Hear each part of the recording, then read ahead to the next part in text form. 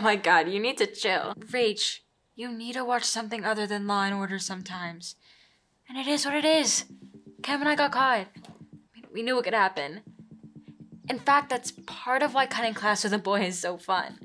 Someday you'll understand. I hope.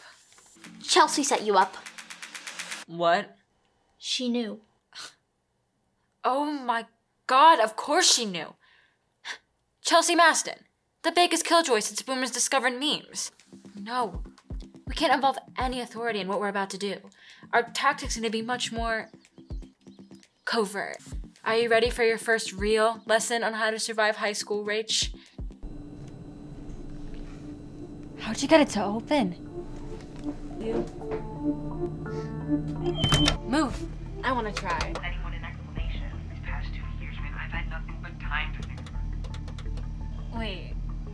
Josh is gay? No! David! Why would you press that?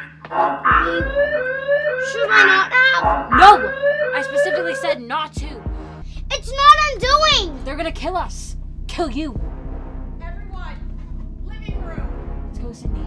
now! Gosh, Mom, literally relax. Oh, honey, honey, lift with your back. Use your back. Mom, Yes, honey. did you hear me before? What? Told everyone a piece of information about me? Daddy's gay. Oh, yeah, honey. We knew. Let's just say it wasn't breaking news. Did everyone know? Sarah, stop it. Yes, Josh, everyone.